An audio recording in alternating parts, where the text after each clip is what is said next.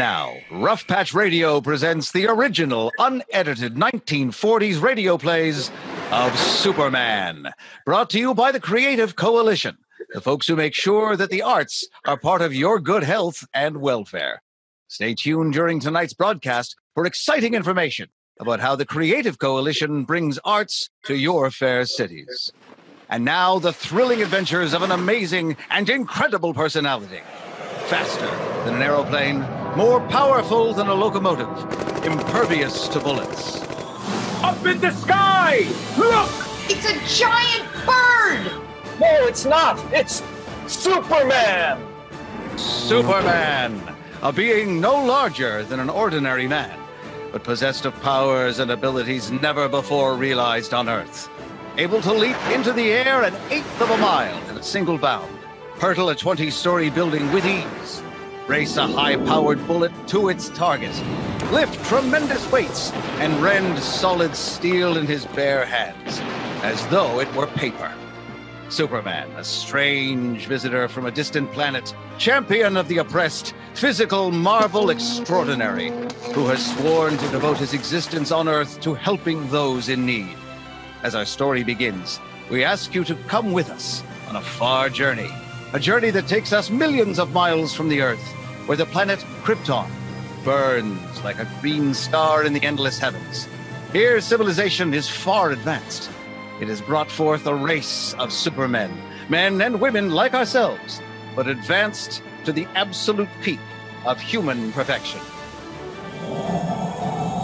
As we near Krypton, we see high walls and gleaming turrets. We approach the magnificent Temple of Wisdom, and there, in a great hall, Jor-El, Krypton's foremost man of science, is about to address a meeting of the planet's governing house. I don't know what he's going to talk about today. He called us all over here. I don't know what he's meeting? going to What's the have. big What is idea? talk about?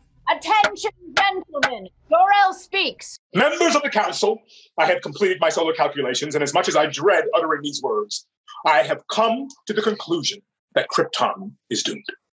Did I hear him right? Get out of here. He's What is he No, talking about? He doesn't even know. He's crazy. Cut him out.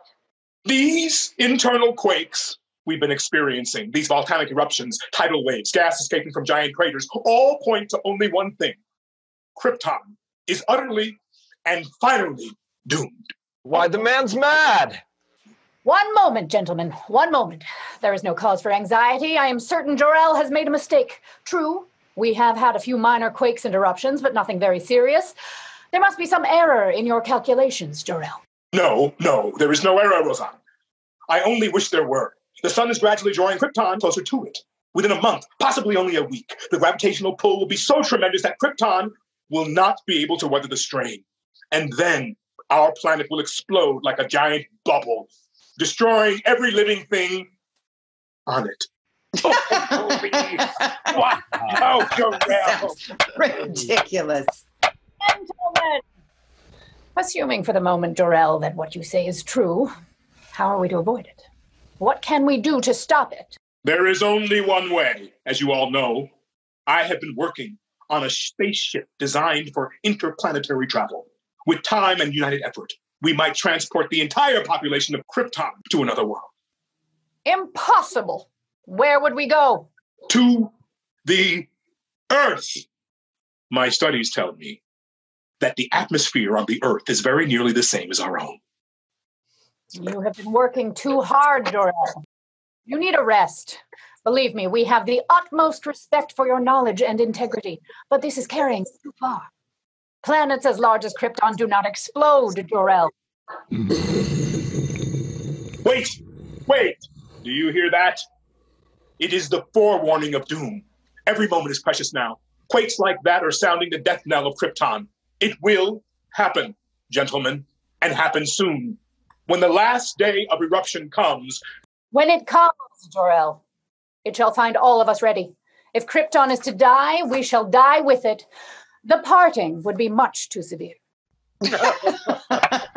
very well. Laugh if you like, Rosa. And you members of the council, I have no time to laugh. My wife Lara and my infant son are dear to me. It is not my wish to stand by and see them destroyed. Laugh, all of you. But a time will come and the time is perhaps very close at hand when you will wish you had heeded the word of Jor-El. Now, you think me a fool, but remember what I have said. When Krypton is shattered into a thousand million stars, when the glorious civilization we have built is no more, when you, your families, are swept from the face of Krypton like dust, This can't be true. I mean, this is crazy. I think he's getting a oh, little Order! cuckoo. It sounds like he's a crazy. Order! You have heard Jor-El speak. Is it your wish that we devote time and money to the building of spaceships for the transportation of Krypton's population to another planet? no, No! no, No! no. I am sorry, Jor-El. The council has spoken. Yes! And signed the death warrant of every living thing on Krypton. Well, I've done my best to convince you. Now, all that remains for me is to proceed with my own means of salvation, my own spaceship, to save the lives of those near and dear to me. As for the rest of you, may God have mercy on your souls. Will the planet Krypton be destroyed? Will Jor-El find a way to save his loved ones? And more importantly, how can your family enjoy the benefits that the arts bring to us? Yes, it's time for a word from our sponsor, the Creative Coalition. Friends, do you love the arts? Music, visual arts, theater, dance, creative writing? Then you need to go to thecreativecoalition.org. The Creative Coalition is working tirelessly to make sure that arts are a vital part of everyone's lives. We make sure that the arts are in your communities so that you and your children can lead the most productive, imaginative, fulfilling, and artful lives.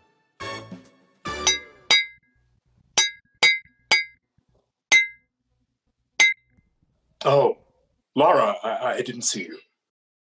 Oh, I came out to take the air on the terrace. It's been terribly hot all day. Is that because we're being drawn to the sun, Jor-El? Yes, What did the council have to say about that?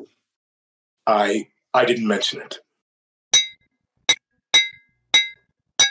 Well, is the model of your spaceship almost finished? Yes, yes. I just drove the last rivet. How does it look? Splendid. But will it work? Ah, that remains to be seen.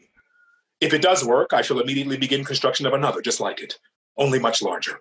One big enough to carry all three of us to another world. Jor-El, when will that be?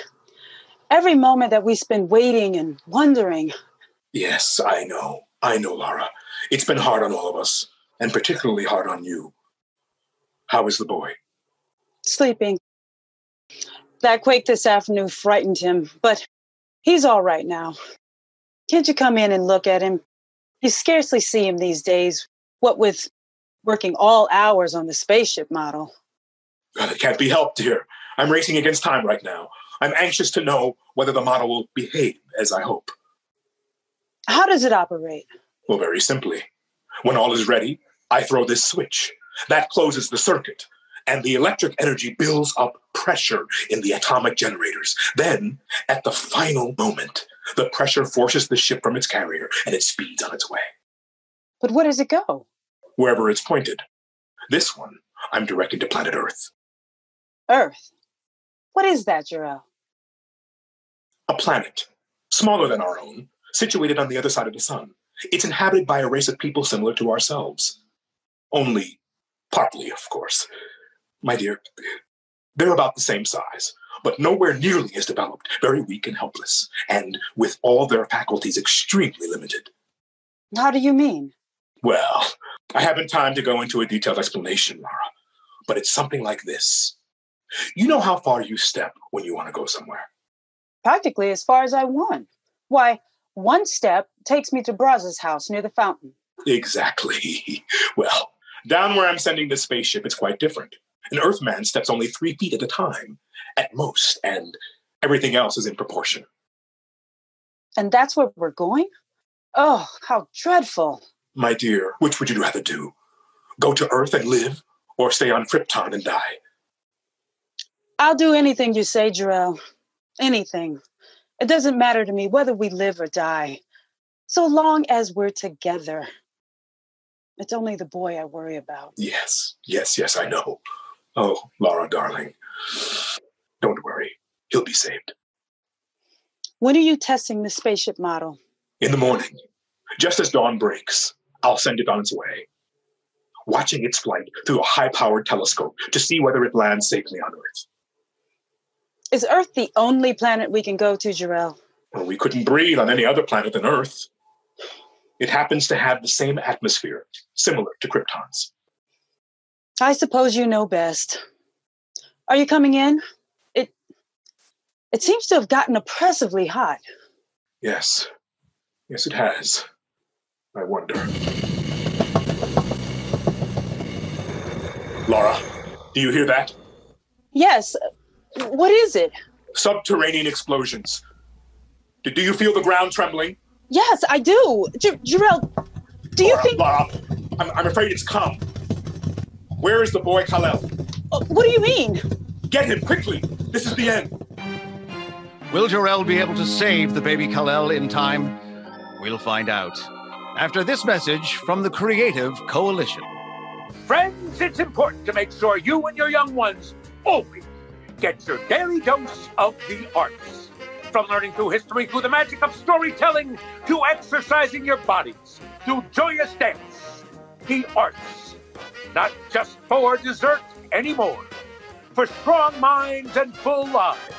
Go to thecreativecoalition.org for all the nutritional value that the arts can bring you. Jor-El, what can we do? Nothing. Nothing. I'm not ready. Oh, what a fool I've been to delay. It, it isn't your fault. You did all you could. If, if only this model were large enough, we could take a chance. Jor-El, would it carry one of us safely to Earth? Oh, I, I think so. But, Lara, Lara, where are you going? Lara, where are you going? Stay with me. I'm getting Kal-El. If one of us can be saved, Jor-El, it should be the boy. No, no, Lara, come back. If one must go, it should be you, Lara. I said come back. Come back. Here he is, Jor-El, still asleep. Please, Lara. Goodbye, Kal-El. No. Please, Lara. No, Jor-El, listen to me. We both stay here. Kal-El goes in the spaceship. If there is a chance, Jor-El, one little chance, I want it for my son. Perhaps you're right, Lara.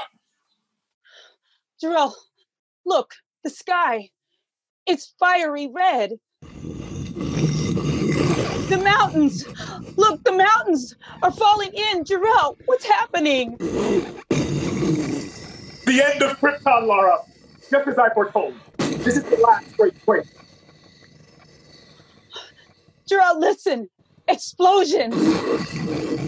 Here, here, quick, quick, give me the boy. Kal-El, Kal-El, what, what are you doing, Jor-El? Opening the door, putting him inside. Jor-El, the house, it's it's swaying, it's breaking apart. Jor-El, look. There, there, there, there. He's safe inside. For now. Now, Lara, for the switch. Stand back, Lara. Oh, Jor-El, will it reach Earth? Only the gods know, but there's a chance. The only chance. Stand back now, Lara. I'm going to throw the switch. Jor-El, it's getting dark. I can't see. What happened? Fire! Go from the center of the planet. Not much time. Hold me, Jor-El. Has the spaceship gone? No, no, no, not yet. Waiting for pressure.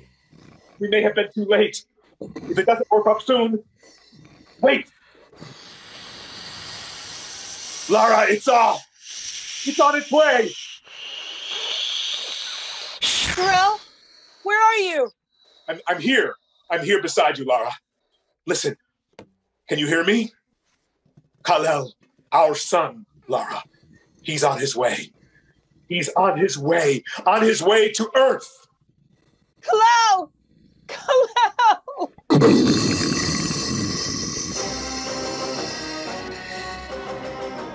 So the tiny rocket ship roars into the uncharted heavens. as the mighty planet of Krypton explodes into millions of glowing fragments, glittering stars, to remain forever in the night sky. Jor-El and Lara, devoted parents of the tiny boy, perish in the giant quake that destroys Krypton.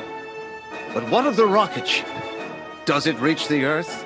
Does it find its mark in all the far flung darkness of space? Remember, don't miss the next installment of Superman. Up in the sky! Look! It's a giant bird! It's a plane! It's Superman! Are you on the edge of your seat? I certainly am. Come back when the Creative Coalition presents the next exciting chapter of the adventures of Superman. And don't forget, this is a radio play, and plays are part of the arts. And arts are what we have to make sure never goes away. So go to thecreativecoalition.org to be your most artistic self.